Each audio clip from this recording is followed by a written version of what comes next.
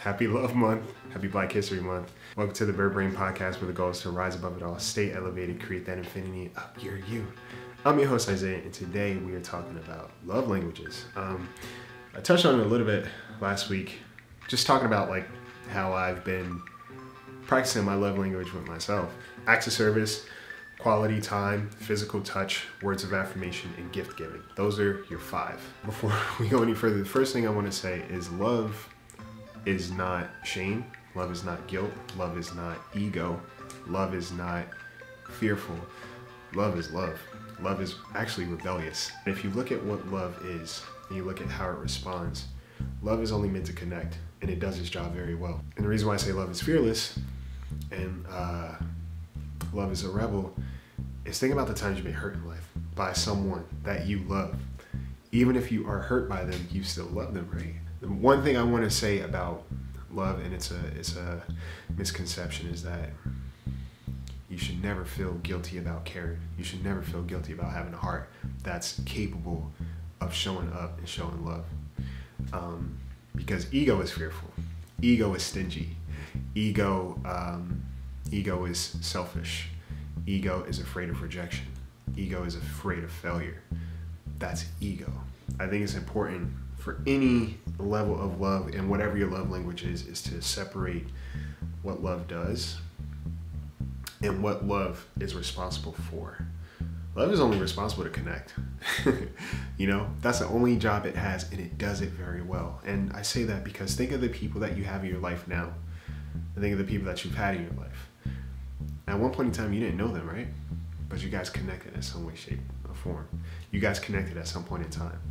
Um, and that's what love is. Love is a connector, you know? And when you talk about love languages, that in itself is a conversation um, that can that can really bridge a gap if you're listening properly. So it's important to be aware of your love language, yeah, but also making sure you practice that for yourself. You know, I talk about acts of service being mine. That's a big one for me, and I think it's because I grew up around my mom, my aunt, my sister, all doers. You know, these people are all doers and they put themselves into the things that they do to show, hey, you matter to me. I'm giving you a part of me. That's how I'm going to show up. So I've taken that on too. And that's what I'm receptive to as well. Um, and since I know that I'm receptive to that, it finally dawned on me how am I doing that for myself?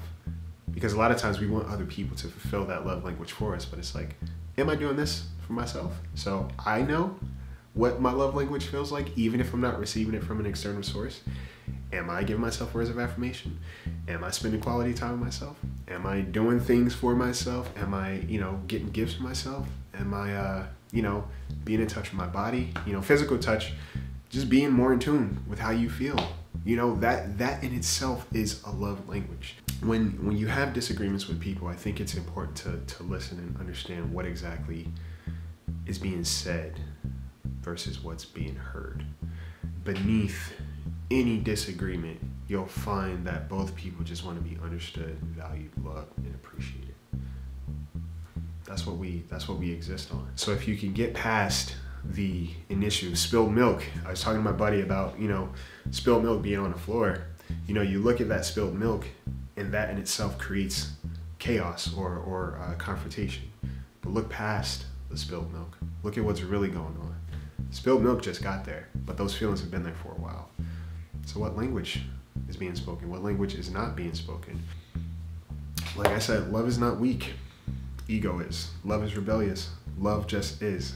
Listening to yourself and others is a love language, but also boundaries is a love language. Sacrificing yourself to the point that you have nothing left, you know, because that's where resentment comes from. Um, love is being able to value someone despite where they are and where you are. Love is also taking care of yourself and recognizing this is not loving for me, so I'm going to step back and love a person from a distance. That's also okay. It's all important to understand, dissect, and unpack because once you understand, okay, what's my love language, and also, am I willing to love somebody in the way that they need to be loved? You know, are you willing to do that? because sometimes we get in this this space of where we feel like someone's not loving us because it's not our love language, or we're not willing to love someone the way they need to be loved, and we feel like, hey, I'm doing all these things for you, you don't appreciate me. Are you willing to put your love language aside to love somebody in the language that they speak and understand? Because that in itself is also love. You you don't have to be in scarcity in order to love other people properly. Take care of yourself take care of each other because when you take care of yourself you're able to take care of others properly too so yeah look into love languages and, and uh, spend this week thinking about what is my love language and how do i show it for myself what about the people around me am i speaking their language am i listening to what they're saying in terms of what their love language is and remind yourself on any given day i should not feel ashamed for love I should not feel guilty. I should not feel um, pained. Love is not here to cause you pain. Love is just here to connect. Okay? Accept that you do care sometimes when you are hurt. Accept that you do care about the people that have hurt you. Embrace that. Hey, I love this person. I care about this person. It's okay. That is okay. But as long as you love yourself too. All right.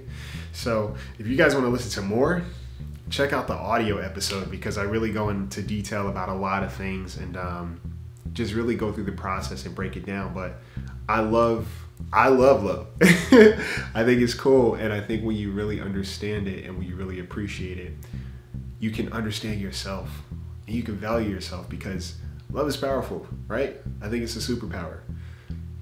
It's a superpower that that truly is infinite, but you just gotta allow it to be. Don't be afraid to love. Because vulnerability equals strength. Being stingy with your love, that's that's weakness. That's weakness. And more than anything, uh, just work on loving yourself more. Whatever that looks like. But have the conversation with yourself. Be patient with yourself. Be compassionate towards yourself. And um, take your time. Take your time. And whatever you're journeying through in this moment, just go through the journey. Take your time. But show yourself some love along the way. All right? Hope you guys have an amazing week. Valentine's Day is coming up.